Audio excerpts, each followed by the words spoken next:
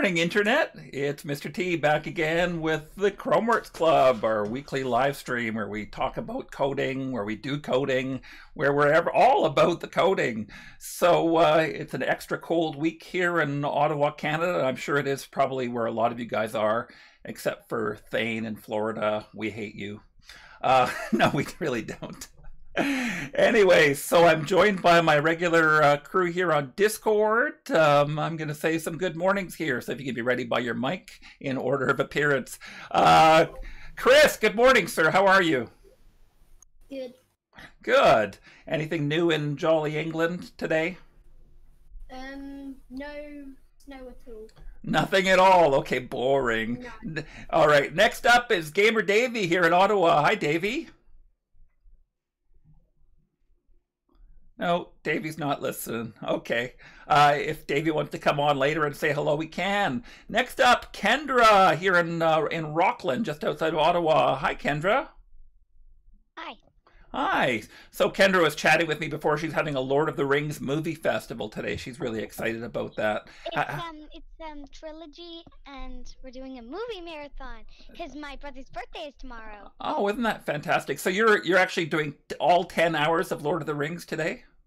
Um yeah, I think so. Oh, that is crazy. That's a lot of video to watch. Okay, well, enjoy that. Have and you seen the? only allowed junk food. Oh no. Okay. only Well, allowed junk food. But Yeah. We're eat a junk All right. As a teacher, I have to officially disapprove, Kendra. Naughty, naughty, naughty.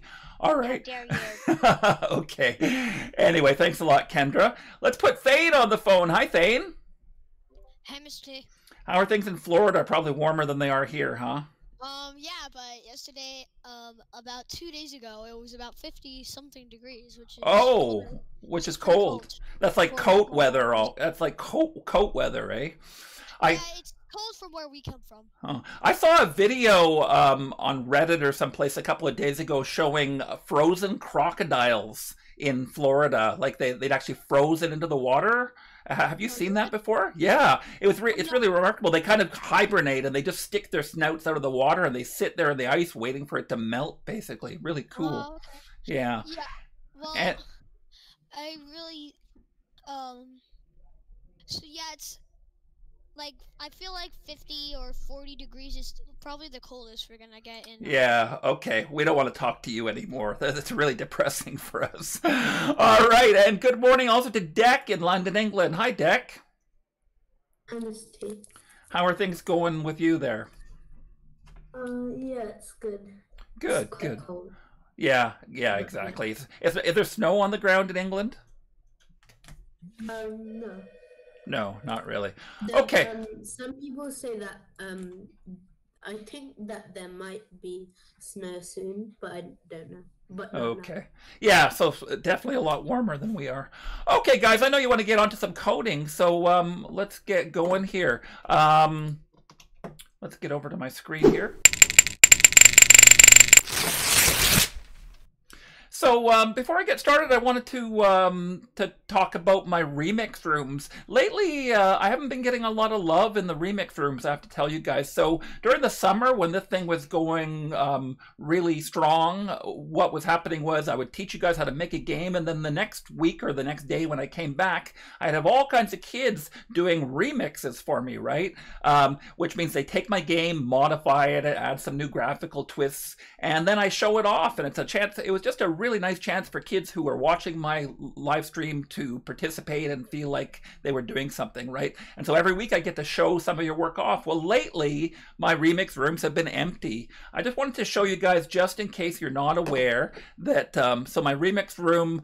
So this is my live stream page. It's chromeworks.ca slash live stream. And here, usually on Thursday or Friday, I post whatever our project of the week is going to be. And it stays up there for a couple of days. At the bottom, there's always a link here to the remix room. If you click on that, it will bring you to a Scratch Studio. And from here, you can paste your um, your projects in here by clicking Add Projects and just paste the URL of your project into here. Click this button, and then your thing will appear in the studio. And then the next week, when I come back, I'll see who's done stuff in the studio, and you guys can get your um, work online. So anyone who's watching at home, especially the people who aren't are part of my regular crew, I'd appreciate uh, it if you really do something cool, if you show it off with me. And anytime at all, if you have a really cool Scratch project that you do want me to show off, I'm happy to show it. Just email me at info at chromeworks.ca and I will get you online. So here's your chance to be just a little bit famous. Not very famous, but a little bit famous anyway. Um, you know, uh, small time YouTube famous. So, sorry, who was that? Um, Mr. T, uh, I couldn't find uh, Incredibox um, remix room, but I made a remix.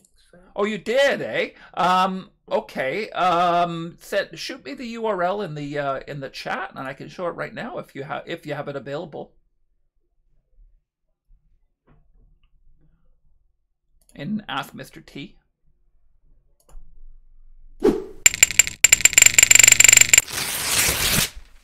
All right. So um, anyway, the project today is Whack-A-Mole. Here comes uh, Deck's version of Incredibox. Let's see if we can uh, play that right now.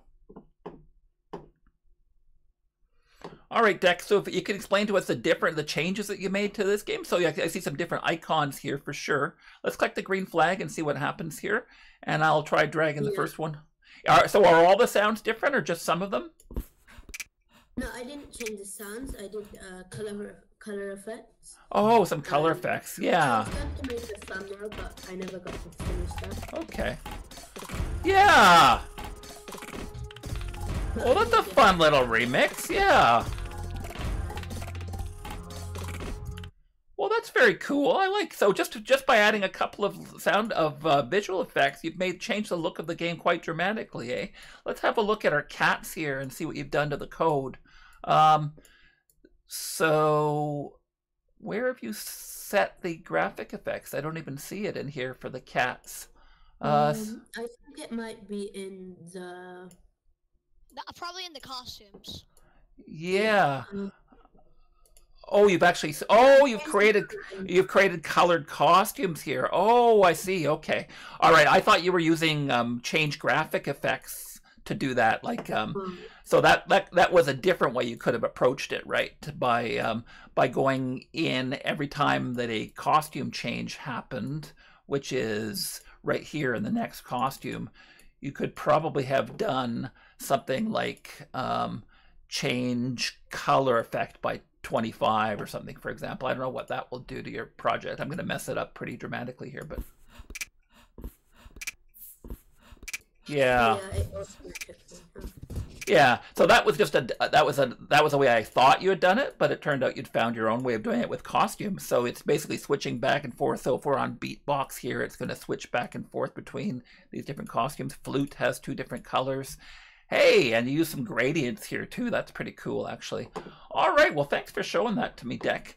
So um, I don't have a whole lot on the agenda here for you guys today. Um, uh, my co-op crew is uh, retired for the season, so the four people who were with me last see, uh, for the second quadmester of school are all gone off doing their own thing now. Um, uh, and I have at least six new co-op students. Very excited. You're going to meet some of them next week, and we're going to start producing content for you guys. Um, so right now, this week, while we're in between co-op students, I didn't have a lot of um, uh, a lot of time. Deck's asking me if we want to do a Kahoot. Um, it's not part of the regular live stream deck, but um, I will do it. I have a new Kahoot, by the way, for cat and mouse. By the way, if you guys are doing cat and mouse in your classrooms, you should probably be aware that um, on my on my website, on the right on the main page here, I've got a link to it to um, the Kahoot site for my thing. So if you want to host a Kahoot, um, you can click on this link. You'll need an account to get into it. This is more for teachers, though. I'm, so I just want teachers basically to know that if they want, if they've run the cat and mouse curriculum and they want to do a little quick assessment, they can you do my cat and mouse Kahoot. I might actually do this Kahoot on my live stream at some point as well. I know that Deck would like me to do that, so I'm uh, definitely thinking about that. Um, anyway, so um, as I was saying, um, there's not uh, a lot of co-op material here today, so I don't have my the regular stuff that we've been running the last few weeks. Yahya did do an extra video game review for me though, and so I'm going to be able to show you that now. Um, Discord people, I'm not sure you're going to be able to hear this. It sounds like you're probably not going to, so I apologize for that. But um, anyway, let's show you the video right now.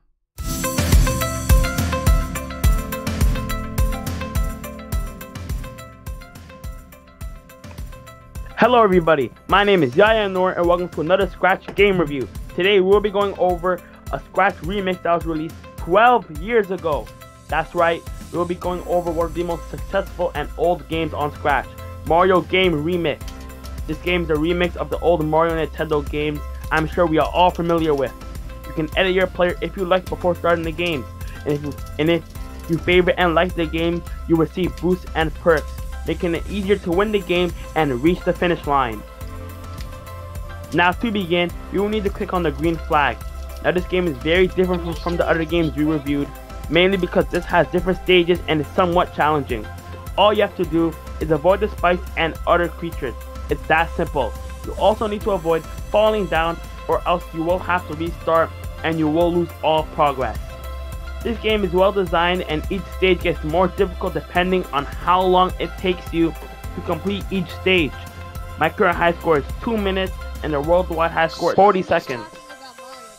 And I'm challenging all you kids to try and beat it.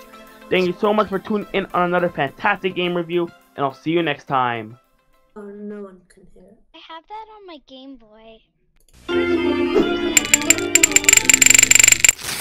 Oh, okay, guys. So, guys on Discord, you know that the world can hear you when you're chatting with each other on here. I, I'm sorry that you um, weren't able to hear the audio for the for that little game review. Again, I'm still I'm I've started to lose hope on whether I can actually get sound patched out to Discord when I'm doing these videos. So um, I apologize for that. But um, so if you can make sure not to talk while videos are playing, I'd appreciate it. But right, but we're doing some coding now, and you guys are welcome to join in and give me some suggestions while we're while we're on this part anyway. So um, so the only other thing I have on the agenda is this big project that I was going to do today, the Whack-A-Mole. So let's get on to that now, and um, I'm going to teach you this fun new game. It's a nice uh, beginners eh, ready game. There's a couple of slightly complicated things that we're going, but I'm going to go slow and I'll walk you guys through it. So um, let's get on to that right now. So you guys um, will be working off of a starter file, which is the file that has all the graphics and stuff. This hammer, for example, and uh, the groundhog animations and stuff like that. Whoa, that didn't work very well. Oh, I don't think my magnifier is working properly. I'm magnifying in Chrome instead of magnifying Mr. somewhere else. Yes? I'm in my own Whack-A-Mole project too. Okay, yeah, no, I did. I do remember that. You sent me the link. Actually, the the Whack a Chick game. If you um yeah, the game. s- send send me the link again in the uh, sent it and asked Mr. T. yeah, it's there right now, eh? Okay, um, we actually yeah. So why don't I show that right now? Actually, Mhm. so this is Thane's version of Whack a Mole that he did a couple of months ago. When did you do this? Like way there back during the summer? Um, I did this when I think it was when I was in um on my vacation. I was on my I was on my laptop doing a bunch of Okay. mini games, scratch games. So I don't seem able to hit stuff, Thane. Like yeah, you're only allowed to hit. You can only hit them if you hit them with the gray part. The with the, part. and I have to touch the actual chick with the gray part, right? Yes. Yes, that's. All right, because I haven't successfully hit one of them yet, or have I? No, I'm getting. hmm Okay, I'm getting points, but the problem is there's no feedback. I can't tell that I hit, right? Because there's nothing happening here to tell me that I actually hit the thing. Okay. All right. All right. So that's one of the things we're going to be learning today is how to give some better feedback on whether things are working or not. And that's something that I've implemented in this game with this POW feature here. You can see the costume here. This is actually going to appear on top of the groundhogs when they get hit. And the other thing we're going to do is we're going to have this graphic show up. So the, the uh, groundhogs are going to come out of the hole just by using costume changes. You see what I've done here. Uh, now, I couldn't just take the groundhog graphic and move it through because it wouldn't appear to be coming out of the hole. It would just be popping up and down off the screen. And so that's why I use this costume effect to basically make them grow up. And the last frame here, which is called ouch, you don't see it during the normal transition, but that's the one that's going to appear when our character gets whacked, basically. All right, so let's get into the code here and I'll walk you guys through it. So as I was saying before, there's a starter file here that has all the graphics and stuff and the sound effects that you're going to need to make this game at home. Um, the address for that is inside the file description for this if you're watching this afterwards. But if you're working with me live, if you're on the live stream right now, I'm going to paste a new address here. This is a file that I'm actually working on right now. So every time I hit the save button, you guys will be able to see everything that I have done here. So if you're not interested in actually coding it along with me, you can just open the file up, look at it, play around with it a little bit, and then every time I hit save, you can refresh the screen and see all the coding that I've done. So it's the lazy way to do coding with Mr. T if you're interested. All right, so let's get working on this. Um, I'm, I'm going to start with the mole carrot, and what we're going to do is, rather than, I could have duplicated the mole nine times, because I've got nine of them on the screen here, but um, the cooler and more efficient way to do it is using cloning. So what we're going to do is basically stamp our guy down. He's invisible right now. I'm going to plunk him on the screen here. I want him to start basically on the left here, Let's get him into a better costume. That's not really an appropriate costume. There we go. There's a proper groundhog. Uh, so I want him to copy himself three times across here. Then he's going to have to go down to the next row and copy himself three more times. And then go down to the next row and copy himself three more times, basically. So we're just going to use some cloning and um, some moving effects inside a loop to do that. And I'll walk you through that. I'm going to hide the rest of the stuff on the screen here so that you don't have to stare at it while we're making this.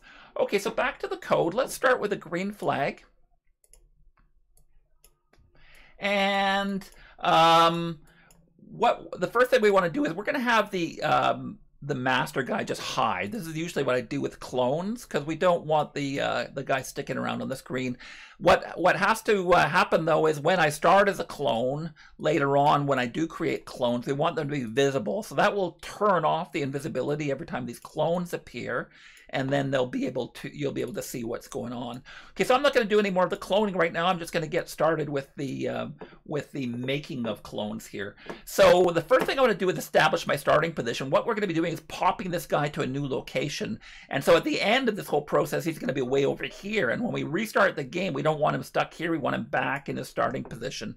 So let's go ahead and we'll grab a go to block here. We'll enter the proper numbers to get him into his proper position. I have minus 145 uh, for the x and the y is is 110.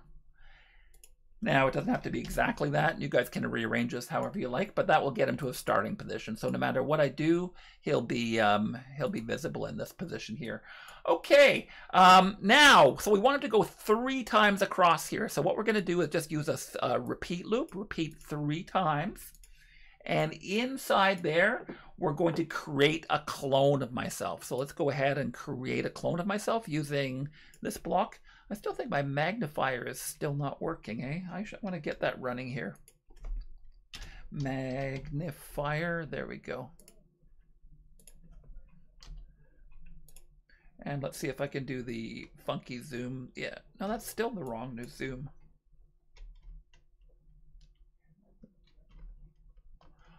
Oh, okay, now I've really messed things up. Whoa! Okay, I have completely destroyed my... Alright, I think we're good now. Sorry about that, guys. Alright, so we're making clones of ourselves three times basically. And every time that we make a clone of ourselves, we want to move over to the right. So I usually do this kind of stuff with trial and error. You could probably do some math with this. Since they're already pointing to the right, I can just tell them to move in that direction. So I'm going to grab a move 10 steps block here and plop it in there. And you'll see that we'll create three guys who are just offset uh, by each other by 10 pixels, right? So now we just got to play around with this number and see what distributes them nicely on the screen. 100's no good. 150 you'll see is a little bit, well, that might be okay. I think the number I finally settled on was 140 steps. And that to me looks properly centered. So um, we've got that happening three times. And then what we're going to do is at the end of that, after we're done repeating it three times, we basically, like a typewriter reaching the end, we have to go back to the beginning again and then move down a step. So it's exactly like taking a typewriter. You get that's old technology. You guys probably barely know what a typewriter is anymore. But so at the end of every line, you have to manually do the carriage return, rip the thing back to the left and then bring it back down to the next line. And then you can start typing again. And that's what we're going to do now as well. So we're going to move our X. So our guy's way over here, like way about 200X. We're going to set his x back to the starting position, which is minus 145. Minus 145. Whoa, not zero. 145. And we're going to move him down as well. So we're going to, um, now we don't want to set the y because it's going to be relative this. So, so we want it to go down a certain distance from here and then down a certain distance. And that's why we've used a change y here. The distance that I've played around with here turns out to be about minus 100. So we're going to enter that, and you'll see um, that the that the guy will appear down here in the next spot. And now he can start making clones again. So what we wanted him to do is loop around here and go back and repeat this one more time. So I'm going to take another repeat loop. I'm going to call it repeat three again. I'm going to take this repeat loop and the two blocks underneath it and put it in here. So it's going to go across, do my three, then it'll come around the loop again, move down, and then repeat this three more times. And as you'll see, when I click the green flag, I've got a lovely little grid of groundhogs here. Perfect. All right. The only other thing I want to do in this little block of code here is when we whack one of these guys, uh, they're all going to react if we're not careful, basically. I'm going to go whack, and they're all going to go ouch because the Scratch has no idea if, which one of them is the one that's been hit. And so one of the things we're going to do to make sure that we know which of these guys has been hit is we're going to give each of them a little name tag. And that's a variable. I've already created it here. It's a variable called clone ID. And you've seen this kind of thing before. It's a local variable, which means that I went in to create the variable under make a variable. I clicked on for this sprite only. And that makes it so that every one of these groundhogs has its own clone ID. Instead of a global variable where there's one number that all of them share, each of them will have a different number. And I can show you that in action. Let's hide this variable. I don't need to see it here. By telling these guys when they're created to say what their number is. So I'm going to go to my looks commands here, go say, and I'll tell them to say their clone ID. There we go. Now, when I click the green flag, you'll see, uh-oh. So right now the clone ID is 9. I haven't actually assigned it, right? So in this block here, I have to go set clone ID. Okay, what am I going to do here? So at, at the beginning, I set it to 0 so that it starts as 0. And then every time we go around this loop, I want it to increase by 1. So I'm going to go change clone ID by 1. And so watch what happens now with that little modification. Now they're all reporting a different number. The first one's 1, 2, 3, all the way through 9 here. So we've given them a little ID number. We don't need this say clone ID anymore, by the way, but I just wanted to demonstrate to you how that works. And so now they all have an ID number. When I hit one, I can check what the ID number is of the guy who got hit and use that to make sure that he's properly deleted. So that's the way that part works. We're going to get into the collision detection part later. Let's start working on the hammer now. So I'm going to click over on the hammer. Let me save my file in case you guys want to catch up with what I'm doing here. Let me have a sip of coffee while I'm at it. All right, so our hammer, we're going to do some clever stuff with our hammer here to uh, to get it spinning around and whacking. I'm going to show it now. I've had it invisible. So this is just a piece of clip art I downloaded off the internet. It's a nice looking little thing. And just like Thane's hammer, we're going to have it so that every time I click, it comes spinning down and whacks itself onto one of these guys or wherever it is that you click, basically. So let's get started with that. I'm going to go to my events and grab a green flag here. Let's zoom in a bit. So uh, we are going to be making this guy visible and invisible, or just in, yeah, we're going to be hiding him at the end of the game. So we have to, we need a look, a show command here just to make him visible again the next time that we play. And um, we're going to, yeah, we're going to make sure he's pointed in the right direction as well because we're going to be spinning him around every time that we do it. So let's just make sure our position is properly set up. We'll go point in direction 90. So normally you don't have to change these settings unless you modify it during the game, but we are modifying the direction, so you want to make sure that we reset that. Okay, we're going to do a forever here that's basically going to be waiting for clicks. So I'm going to go forever. Um, one of the things we're going to keep doing forever here is keep moving this hammer to the front because other things are occasionally going to be coming to the front and we have to remind the hammer that it's in the front.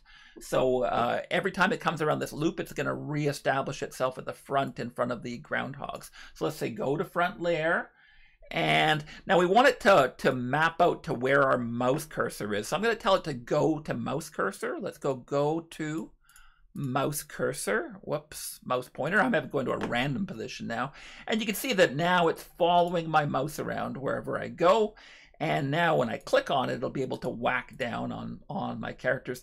Notice that my mouse cursor is sticking to the middle of the hammer, right? And that has to do with where the center of your object is set up in Scratch.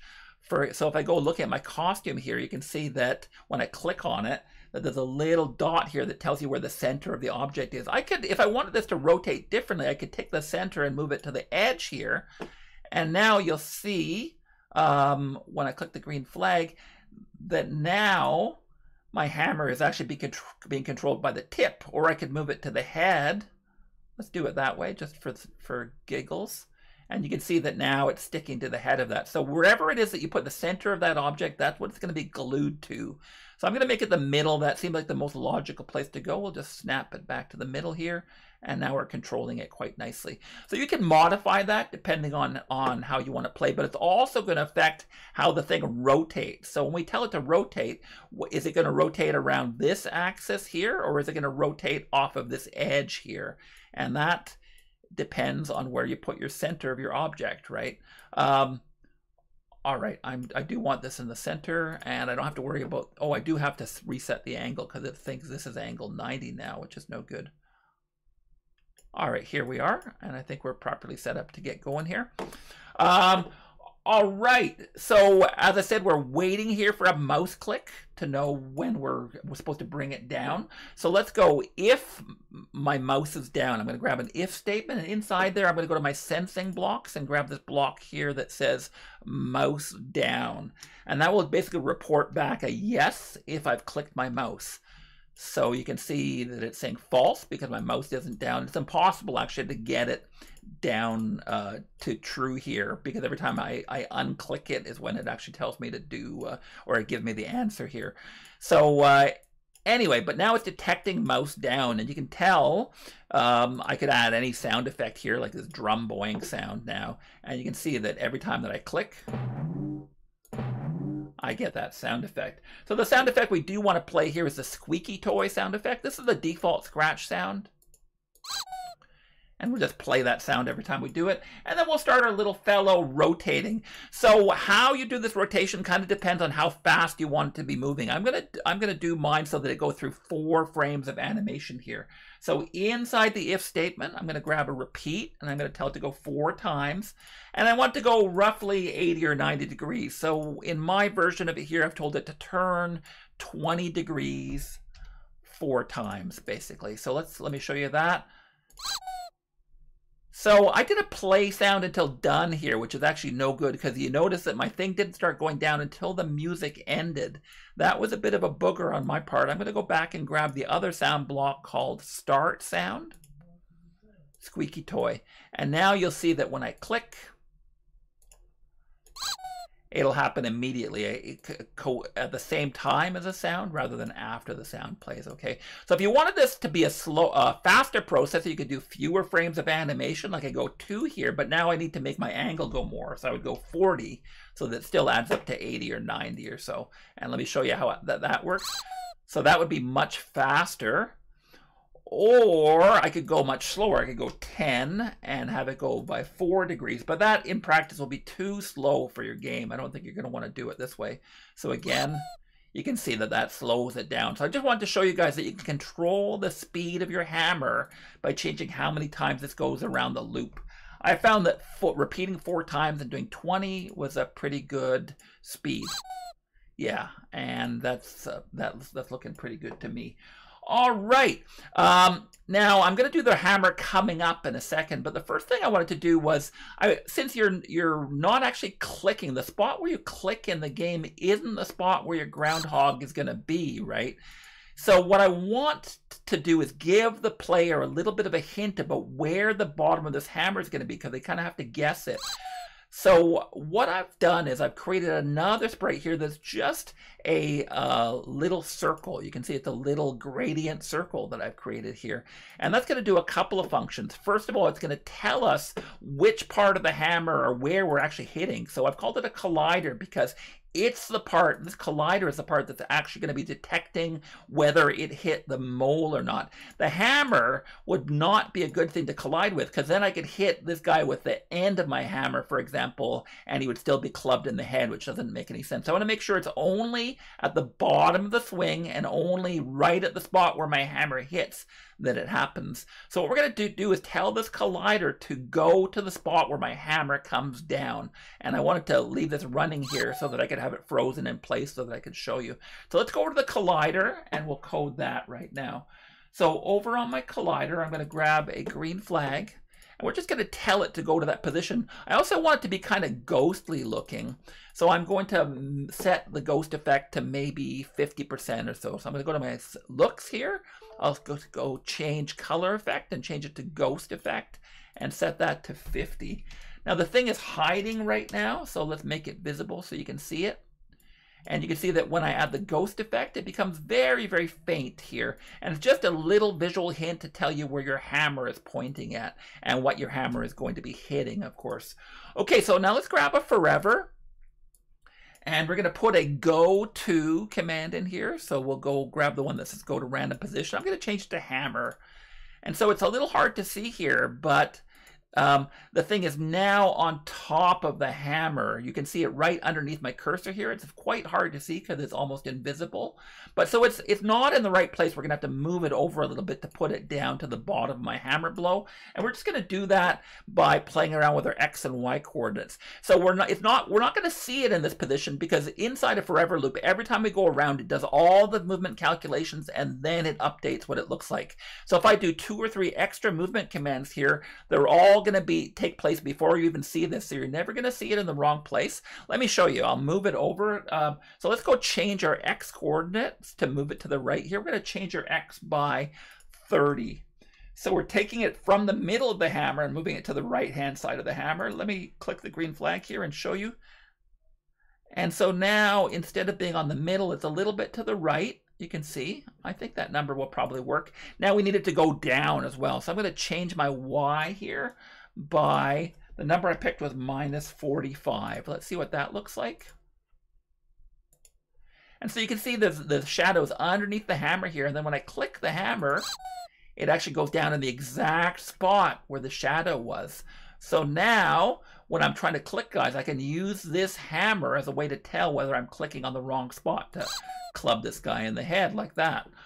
Okay, um, that is really all the coding we have to do on that collider, but we're going to be using that to tell whether we hit the moles or not. All right, so let's go back to the moles now, and we'll start working on that collision with that with the collider. So, um, uh, yeah, I don't think there's anything else I had to do there. So we're gonna do uh, we're gonna go back to the to the when I started the clone here inside the mole, and we've got telling the guy to to um, to show. Let's get them to the proper costume. Right now, we've got all our guys in their upward position, but we actually want them to start in their hole. So let's tell them to switch to the costume that's called hole. And now we've got our board reset to the way that we want it. All right, we're going to grab a forever here. Sorry, I just need to sit up a bit. Let's grab a forever, and we're going to grab an uh, actually, we're going to modify that part later. So I'm going to make this a little more complicated later. We're going to use one of the dreaded if-else statements later. But for now, I can get this running in a simple form, not using an if statement at all. We can just uh, we can just um, tell them to start moving up and down here randomly. And then later on, we're going to put it inside an if statement because we want them to do two different things. But I'll get to that in just a minute, guys. So uh, the first thing we want to do is, so there's nine guys here. We don't want them all popping out at the same time. So we're going to have them sit here and cool their heels waiting for a random number to come, come up. So each one of these guys is going to pick a random number from 1 to 10. And that will be the number of seconds he waits before he goes up. Now 10 seconds seems a long time to wait. But in practice, it's going to mean that one of these guys is going to come up almost every second, right? Because there's nine guys and 10 seconds. So statistics seem to say that most of the time, every second, one of the guys will be popping up. But sometimes two or three of them might pop up, and sometimes none of them might pop up. We're in the hands of fate. Okay, so we're going to wait 1 to 10 seconds, and then we're going to have them go up. So I'm going to grab a repeat 10, and there's actually 10 frames of animation that have them coming up out of the hole here. So all I need to do inside here is give them a next costume command. So let's go next costume from our looks menu here, and you'll see that they will start going up. So they're going to wait, and now they're going to start popping up out of the hole one at a time. And you can see some of them are getting the same command twice, and that's why they go back into their hole and come back out again. It's a little confusing because we, cause we haven't finished resetting the costumes. Okay, so that's how that works. And at the bottom of, um, so once they get up to the top, we're going to have them just wait at the top for a little bit. Now, this is, a, uh, again, a spot where you can customize this if, this if you want. I'm going to put wait one second and put a random number in there. I don't want them waiting at the top for long because that is going to make the game too easy. So I'm going to go with an incredibly hard number, 0.1 uh, the, as the first one to pick and 0.5. So the longest they're ever going to stay up is half a second. If you wanted them to stay up longer or if you thought this 0.1 was too fast for you, you can always change these numbers around. No big deal. All right, and so what we're going to do once once we're done waiting is we're going to go back down again. So I'm going to go re this repeat this repeat loop Basically, we're going to repeat 10 times down here. But how do you go to previous costume? There's no actual previous costume button here, right? So this is something I've shown some of you guys in previous weeks. What we're going to do is use this costume number command here, which was down at the bottom of our, of our um, looks commands here. And I'm going to tell it to switch costume to a certain costume number. So let's go switch costume. I should save my game. I haven't done it for a while. All right, switch costume to a certain costume number. But instead of telling it a number, we'll tell it we'll tell it to do some math. We'll tell it to do the number that we were just at minus one. So let's go costume number minus one. So every time it switches costume now, it's gonna it's gonna reverse its costume changes until it gets back down to zero again. Let's watch that now and see what that looks like. So here come my bad guys. One, yeah, they come up, they wait for a second, and then they pop down. There's three of them at a time. Beautiful. Okay, that's looking good. All right, so those guys are coming down now. Um, and this part is basically done. The now there's one other little bit of code. Uh, yeah, okay, we're gonna we're gonna go back to the collision detection in a second here. Okay, so I think we need to work on the hammer next. So we're going to do something a little bit. So let's go back to our hammer now. There's only one other little block I wanted to add in here. So we've got our hammer coming down off the screen. Oh, we had it. Hold it. So right now I haven't programmed my hammer to go back up again. All right, so we're going to program our hammer to go back up again. And um, so I'm kind of jumping around a little bit, guys. I wanted to show you kind of the way that I make these games, right? So often I'm not, you, you can't really build a proper project like this one sprite at a time. You want to be able to watch what's happening and make sure that it's working as you go. So often you do a little bit of work on one thing, then go over to the other thing, get that working, and then see how they interact with each other, and then go back to the one thing again. So I'm showing you this time, this week, a little more organically how I make these projects to get them running. Okay, so now that our hammer is going down in the right spot and our collider's set up in the proper position, we can move our hammer back up again. So I'm going to just um, grab another repeat loop here. And we're going to tell it to repeat four times again. And then I'm going to go to my motion blocks and tell them to move 20 degrees in the opposite direction. And so that will bring my hammer back up again once he's done. Let me show you that. There we go. This guy is spinning around nicely now. So uh, the the last thing I want to do is uh, the only time I want him to actually check and see whether he's hit a guy is when he's at the bottom of the swing. So right here between these two repeat loops is where I want to start checking for collisions. Now I have to be checking for collisions inside the mole so that they know which one they are when they get hit. They need to know which ID they are. So I'm just going to send a broadcast over from the hammer to the moles telling them whether they got to check whether they got hit or not. So let's go our events. We'll broadcast a message. So that's right between the two loops here. And I'm going to go new message. And we're going to call that message check collision. And I actually spelled that correctly. There we go. Fantastic. I'm going to save my file here. All right, so every time I come down to the bottom of my hammer swing here, um, the mole needs to check and see if he's touching this collider, basically. And so let's go back to our mole and we can get that working next. So let's go when I receive check collision inside the mole here. And we basically want to, inside here, check and see. So we don't want to kill the guy, even if we're touching him, um, but we don't want to kill him if he's in the wrong costume, right? Because if he's in this hole costume and we click on him, we might still collide with the sprite, but we don't want the uh, mold to get whacked because it's hiding in his hole, right? So what we basically need to do here is check and see whether we're touching him and he's out of his hole. So let's do that with an if statement. And inside that if statement, we're going to grab an and so that we can check for two things instead of checking for one thing. All right, so we're going to say if touching collider. So let's go touching collider. So that's the first thing we have to test for, whether we're actually clicking on the proper sprite. And now we need to know if it's not, if the costume is not a hole, that means his head's out and we can click on this guy. So let's go not so not costume name equals holes we're going to put here. So I'm going to grab an equal sign, put it in there. I'm just going to type in the word hole. And in this side, I'm going to put under our looks commands here, I'm going to go costume name, which is hole. So if I'm not wearing the hole costume and I'm touching, that means my guy will get whacked. And we can go ahead and, um, and code what's going to happen when he gets whacked here.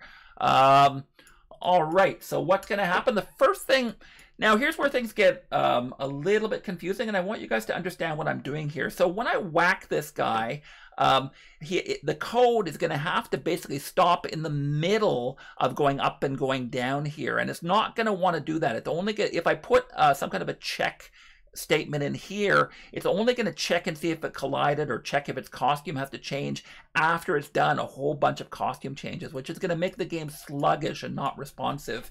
Now, this is a little hack I learned from Jeffrey that works really well in these situations.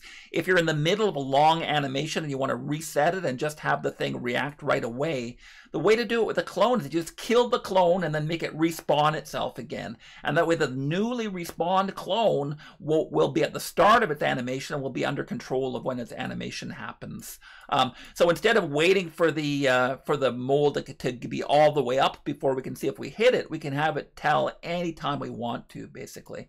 So um, we're going to do that by right in here by creating a clone and then deleting the old version of the clone.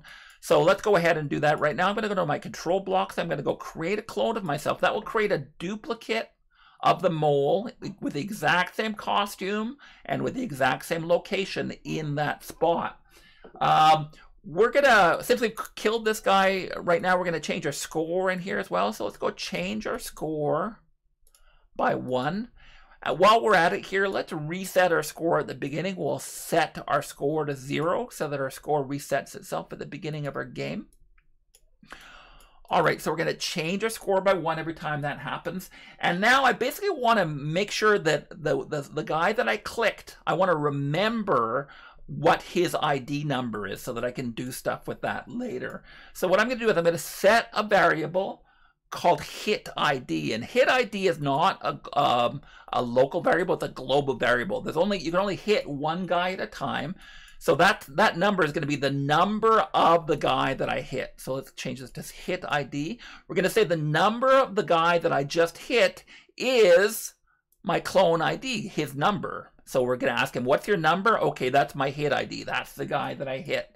Now that I'm done with that, I can delete this clone. I don't need him anymore. So let's go to our control block, delete this clone, remembering that there's a new version of him that's going to start. But when the new guy starts, he's going to go back to when I started the clone and start this whole code from the beginning instead of running through these animations.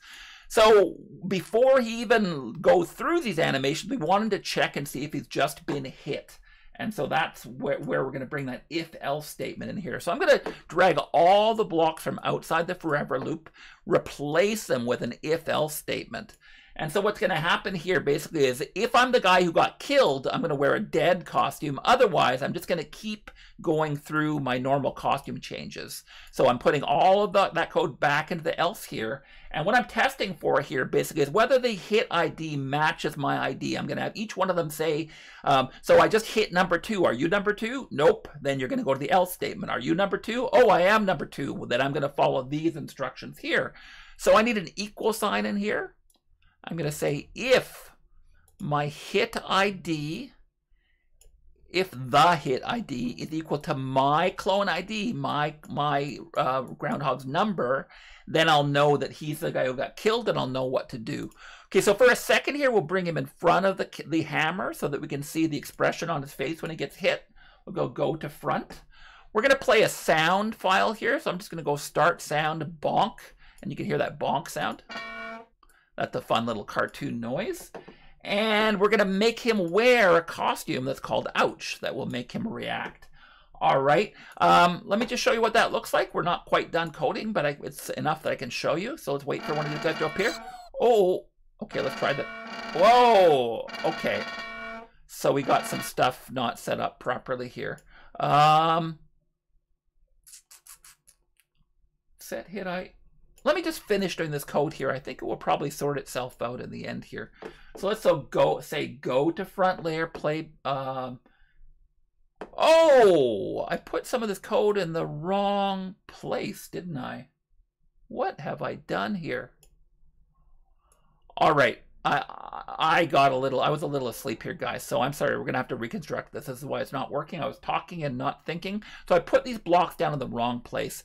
This repeat loop here 10 times should only have next costume in it, right? And here in the if statement, the if part of it is where we have to be putting this code. So I'm gonna put the bonk sound and the ouch in this spot. And now I think we'll be working properly. No, whoa. No, it's still messed up, eh? Start sound, go to front layer. Oh, I'm not resetting my hit ID. So every time I do this, I have to... All right, let me just finish coding this part, and I'm pretty sure it will work when I'm done. So I'm going uh, basically to have him play that ouch animation. Then I'm going to have him wait at the top for just half a second. So wait 0.5 seconds. That's enough time for you to see the expression on his little face. Then we're going to have him disappear. So we're going to have the costume. We're going to go switch costume to a hole again here. After the wait, we'll go hole.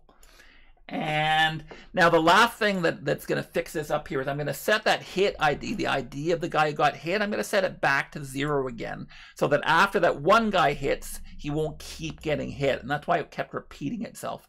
So we're going to go set hit ID back to zero and that will reset our number again. And there we go. So now our hit ID is zero. No one's showing up as hit. But when I hit one of them, you'll see, there we go. And he gets whacked. Let's try this guy. Nope. There we go. Beautiful. All right, we're getting closer on this guy. So just a couple more things we have to do. So this is all working perfectly. We're just going to add some visual and audio elements now to make the game work. So we basically got a functioning game now. Everything's working the way that it should be. I'm going to go over to this POW and make it appear now. So every time I go down with my hammer, I want a little POW to appear on the screen just like that. And we're going to have it appear and then fade away after a second or so. So let's go ahead and code that now. Um, so when green flag clicked,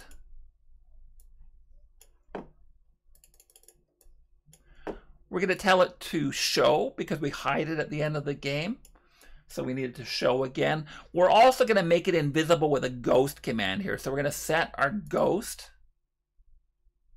to default to 100.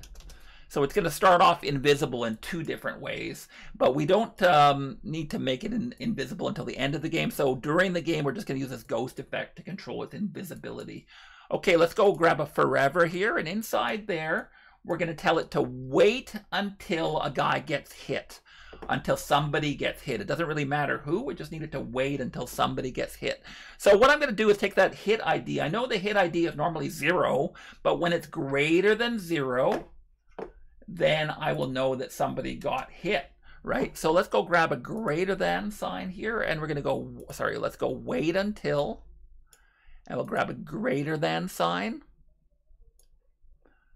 and we'll tell it if my hit ID is greater than zero, that means I know for sure I got hit if that number is higher. So it's just the, the loop's going to pause until that happens, then quickly run through making the POW appear and disappear, and then it'll go around here and wait for the next guy to get hit again. All right, so let's tell it to go to the front layer. We want this to appear at the front and uh, right here. We're tell it to we want it to go to the spot where the collider is, so it hits in that exact right spot. So let's say go to collider. There we go. Now it's invisible, so we need to make it visible. Let's set the ghost effect. Set ghost effect. Color effect, we'll change it to ghost. And we'll set that to zero. And I can show that to you now. It's not going to disappear yet, but we're halfway there. So when I click on a guy to kill him, there we go. The POW appears. There we go. Beautiful. And so now all we have to do is make it fade away. So I'm going to make it fade away with a 20 times repeat loop repeat 20. And so we have to get uh, up from uh, from 0 to 100. So we have to repeat 5 times 20 times 5 is 100. So if, we, if we change it 5% each time, so let's go change ghost effect by 5. And we're good to go. Oh, by the way, um, I want to say hi to Kirill Korot Key, who I believe is talking to me from Russia. So we've got a fan here from Russia today. Uh, uh, Kirill, I'm sorry I didn't notice your text before. Um, so I think you might be our very first viewer from Russia. So um, say hi, tell us what city you're from, how old you are. Kirill, if you're interested, um, I would just like love to give you a shout out. I believe you are my very first viewer from Russia. So very happy to have you aboard here today. Tell us uh, tell us uh, what city you come from and how old you are, or anything else you want me to tell, and I will read it out on the live stream. Okay, guys.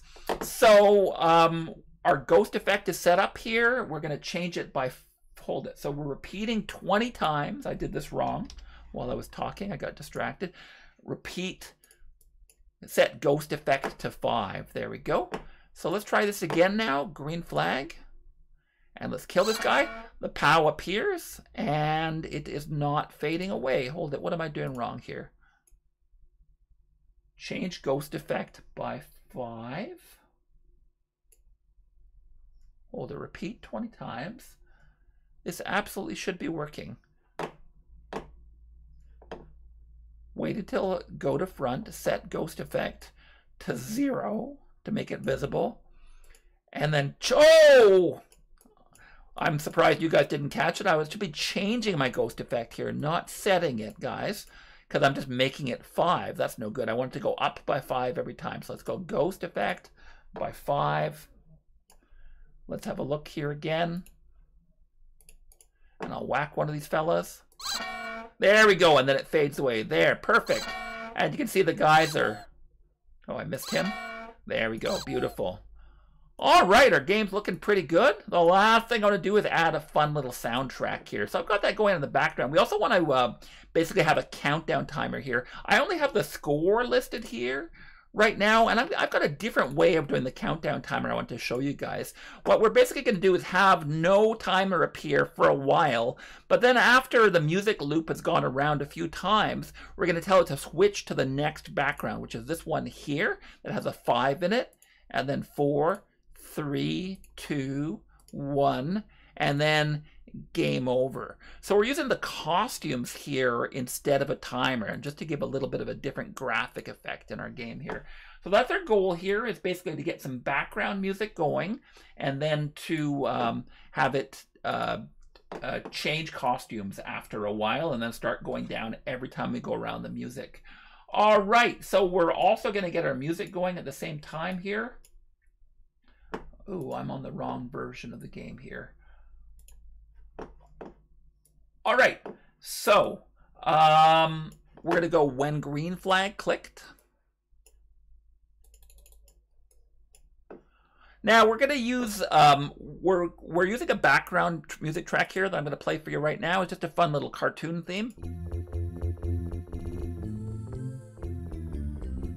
I downloaded this from freesound.org, which is my favorite uh, clearinghouse for free audio files, by the way.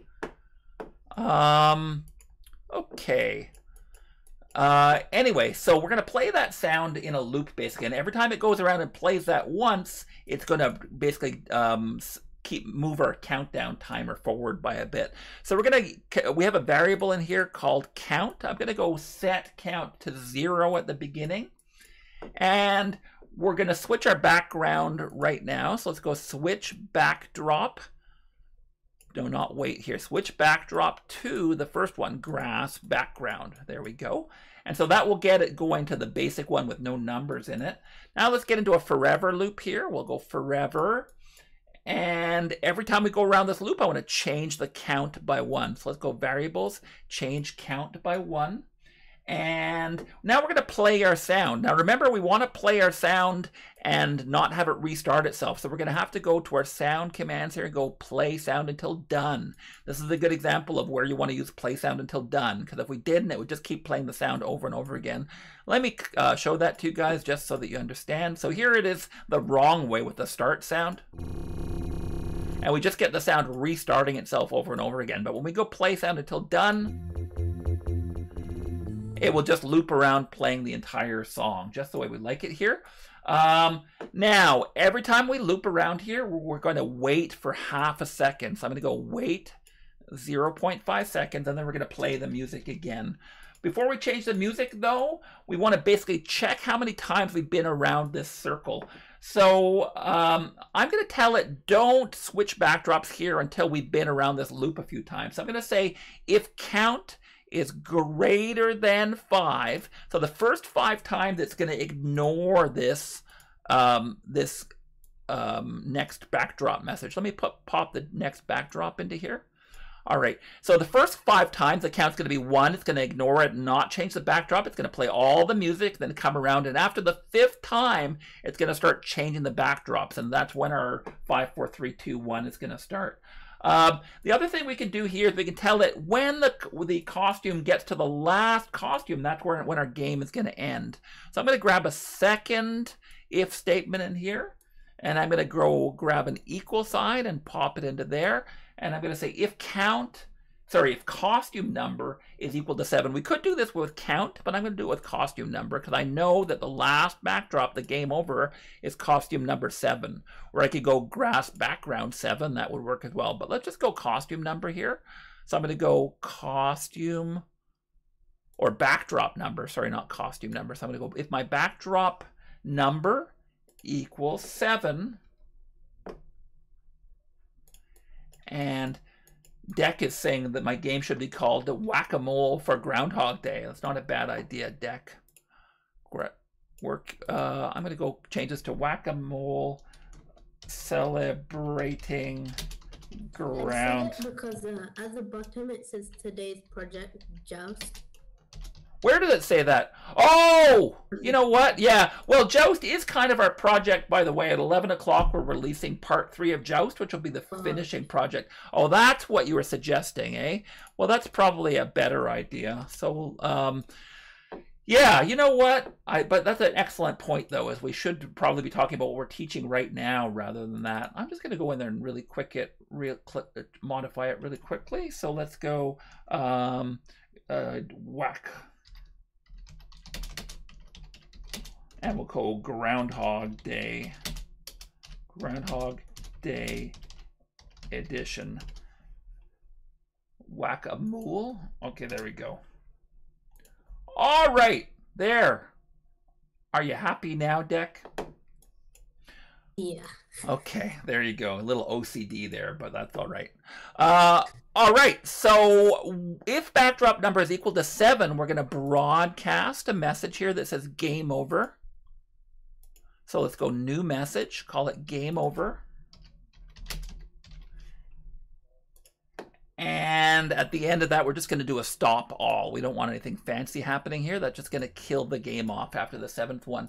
So we're ready to, te to test uh, the almost finished version of our game. I want to do one more twist before we do that. But what I want to do is um, hide all the rest of these graphics when the game is over. So I'm going to tell this collider that when he receives the game over message, that he should hide. I'm going to drag this same code over to the hammer so that the hammer hides too. So now the hammer will hide at the end of the game. The POW will already be hidden. The mole holes, we don't have to hide them, I don't think. So um, that, well, actually, maybe we should hide these guys. So let's grab uh, let's grab the this over from hammer and drop it over to the hole as well. Okay, so everyone's hiding when the game is over here. Let me just show you what that looks like now. All right, here we go. Where's the bad guys? Okay, gotcha, gotcha, gotcha. Missed. Gotta be fast. Nice.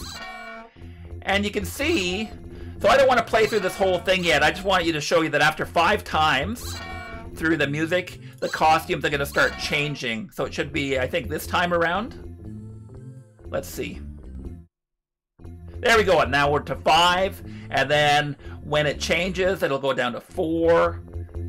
And so that'll tell you that your game's getting close to ending. One last thing I wanted to do that I thought would be fun here is I want it to get frantically a little fast, the music to play a little faster and a little higher every time we go around the loop here. So I'm going to go back to my backdrop here and I'm going to tell it after it plays the music, um, the next time around we want it to play at a higher pitch basically. So I'm going to go to my sound commands here. I'm going to go change pitch effect by 10.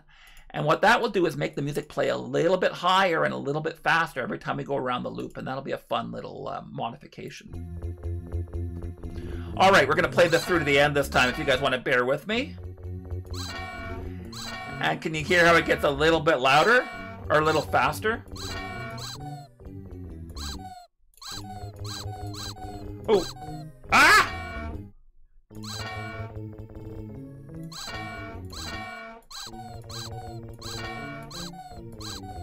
Whoa. There's my five.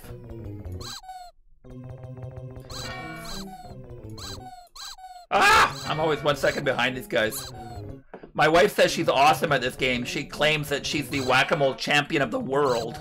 I'm not sure if we can confirm that. And there we go, game over. Now, if you guys want to fancy this game up a little bit, you could add some game over music here before the game ends. Do some wah, wah, wah kind of sound or something. You could also add a splash screen at the beginning of this game. You could change the game to something else. I can't wait to see uh, Gamer Davy's Mario-themed uh, version of Whack-A-Mole or maybe Deck's Among Us version of, um, of Whack-A-Mole. So I'd love for yeah, I'd love for you guys to do a quick remix for me. Next week, I would love to show a whole bunch of whack-a-mole remixes. So I'm challenging you guys out there in TV land to come up with something for me for next week. You know how to do it. You can save it back in the remix room, which uh, you can get to by going to my live stream page on my website and just clicking on the word remix room. And uh, anything that gets put up here that's even mildly interesting, I will show on next week's live stream. So, did you guys think that was fun? Have you guys been building the game? Let me actually, I didn't save it for you guys. Eh? Let me go back to my file here again. Let me save it in case anyone's looking at it at home. So there is a finished version of this file available right now, and you can um, just go to my live stream page and click on the link there to play it, or you can find in the description for this video file as well. Um, hope you guys on Discord like that. Was that a fun little project? Yeah. Yeah, I enjoyed it. Yeah, good. Uh oh, Thane's gone, eh? I want pardon me? I don't think I heard what you said. Anyway, uh Oh, it was fun. Good, Kendra. I'm glad you enjoyed it. So, um, oh, Thane is back online. So, Thane, did you pick up a few tips? Can you see how you might want to improve your own chick game a little bit? Well, I uh, was actually playing with my brothers. I'm sorry. I I already made a vacuum mole game, so I. I know, but but Thane, I want you to up your whack-a-mole game. I'm telling you, I gave you uh-huh. some good techniques in this that you could use to improve your game. So have a look at my tutorial, and I would Okay, love go ahead and look at that. I would love for you to do an extreme makeover on your own whack-a-mole game this week if you're interested. Okay, buddy? Yeah, because I already added the sound when they get hit. So. Okay. All right. I also wanted to say hi to a big genius on YouTube. I'm not sure who you are, but say, but uh, uh, but I'm going to give you a big shout out because he said hi. So we had two new people uh, visiting us this week. Uh, big genius and Kirill from Russia. So I'm very happy to have some over some more overseas uh, people watching us. Do uh, feel free to join us next week, and uh, I'm uh, got you guys on Discord. If you ever see anyone say hi and I don't notice, you might want to mention that to me because I do like to say hi. I think Kirill probably left the stream before we got a chance to say hello to him, so I feel bad about that. All right, guys, it's after 11 o'clock, so it's time to get going. Next week, we'll be back with a new game by my co op student, Liam. He's He was the um, creator of the Joust game, and when he got done that, he I set him to work making his own brand new game. It's a fun new game that's a little bit Frogger and a little bit Galaxian. It's called Ribbit. And I'm really looking forward to showing that to you guys next week. So stay tuned for that. In the meantime, I will see you guys around. Bye now. Bye. Bye.